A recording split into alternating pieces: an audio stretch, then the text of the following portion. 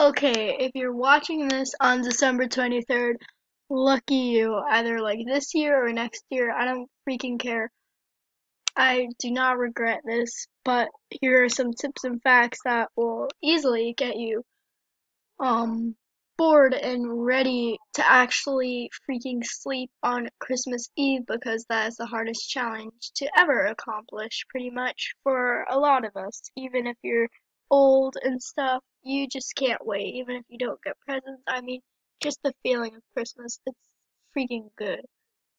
But, um, yeah, let's get to this. Let me start off with tips and then facts later because I don't really want to learn Christmas. But here are some tips to easily go to sleep. One, you're lucky on December 23rd because this is a night where you get the chance to stay up pretty much your mom might go to sleep early, it might be dark, you might be scared. Who freaking cares? If you want to get past December 24th, which is the day where your stomach hurts of how excited you are, then you're going to have to stay up all night tonight because I swear. Um, second of all, during Christmas, since maybe you left on December 23rd, since it's going to be Christmas Eve tomorrow, um, that means it's going to be good for you to exercise a lot, first of all. A lot of people say, no, don't, because it will make you just even more energetic when you sleep. For some of us, it actually works really well. Just exercise as much as you possibly can, like go outside, jump up and down. What I usually do is get, um, you know, Target bags, plastic bags, throw them up and down and catch them it actually really works pretty well to get you worked out and um just do anything that will get you tired, especially when it's the 24th the night. During the whole day, drink as much milk as you can because I heard that can get you easily to sleep, especially warm milk. Like, have as much as you can. I mean, don't get sick from it, but just do as much as you can without getting sick. And, um, Last of all, since you're going to be extremely excited, just let it all out, okay? Go outside. I mean, you're allowed to scream. It's Christmas frickin' Eve. You can scream. Just go outside and yell, Merry freaking Christmas! Okay, that sounded cringy, but still. I have to tell you, all of this works for a lot of us. And now that we're done with the tips, let me get you some facts that will easily make you tired and think it's a normal night. One more tip is before we get to your ruined Christmas is simply pretend it's a normal night. Yeah, doesn't work too much, but maybe read a boring book. I don't know. Do something that is educational if you hate education. Whatever. Just do anything that is boring enough to get you tired if boring stuff makes you tired. Watch a two hour thing on how to do calculus or whatever. Um, finally, for the facts. Well, not really facts, but you guys know what I mean. To get you all tired for Christmas Eve, just think of it. All it really is on Christmas is opening presents and then going to church, right? Yeah, that's all.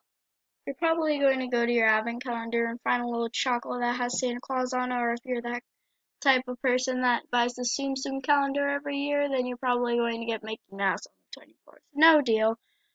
Casual Mickey Mouse, whatever. But still, try to make Christmas Eve as boring as possible, like I said.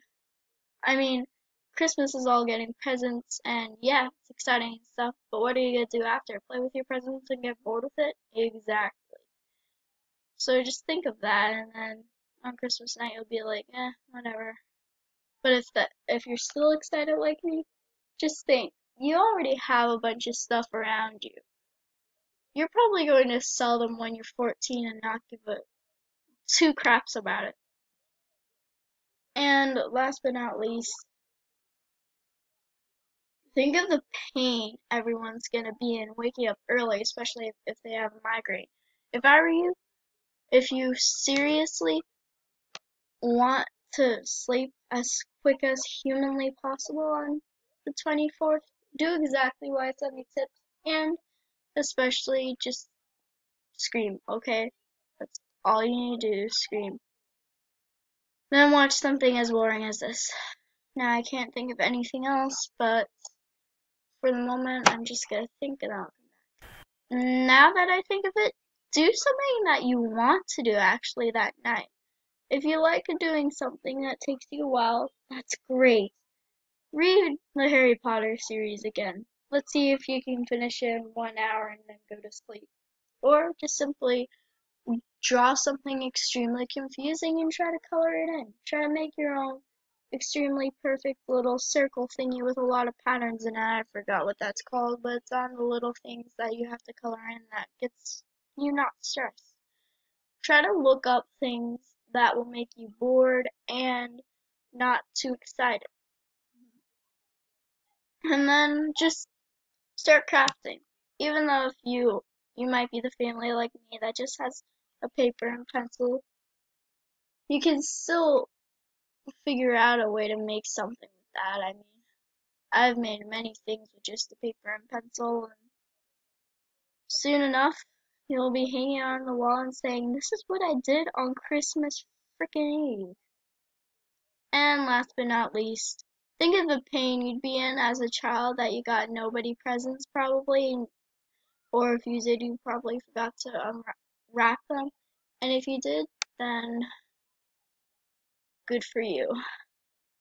And then last but not least, think of what you do after Christmas. Like, is there going to be anything else than just opening presents? What I mean is like, after Christmas, are you going to dye your hair or something? Be excited for that instead of Christmas. Or like, are you going to finish your final No, no, there's no way you're gonna fit. Actually, yeah, for your elective. I I'm just stuttering on. I'm just trying to think of something for you guys. But if you're watching this on Christmas Eve, go get yourself some more milk and watch something boring. I have a playlist that's public called Amazing Things that would probably get you creeped out. And, um, or at least for some of us think it's beautiful. Most of us, probably boring. But soon enough I'll find a two hour calculus video to put in the description for you guys, but I hope you enjoy the video anyway. Um, I don't know what to do next, but if you're really that excited, just wake up your parents for God's sake. If it's like 12 o'clock midnight, just give them a reason. If they're not going to wake up like most of them, I don't know. But the best thing to do, finally, before ending this video, is just think. Think about a long song. Think about what to do. Think about anything. Think how swirls became swirls. Or what do most snowflakes look like close up. Or what even is Christmas? Yeah, birth of Jesus, but what if there was something before that? I mean, Jesus is a great person, yes. But, you know, think. The next thing you'd probably be thinking about is how cringy this video is, and yeah, that's a great thing to think on Christmas Eve. So, so just cuddle your cats or dogs if you prefer it. Cover yourself in like thousands of blankets and enjoy your Christmas Eve. I hope I wasn't that Grinch, but good night.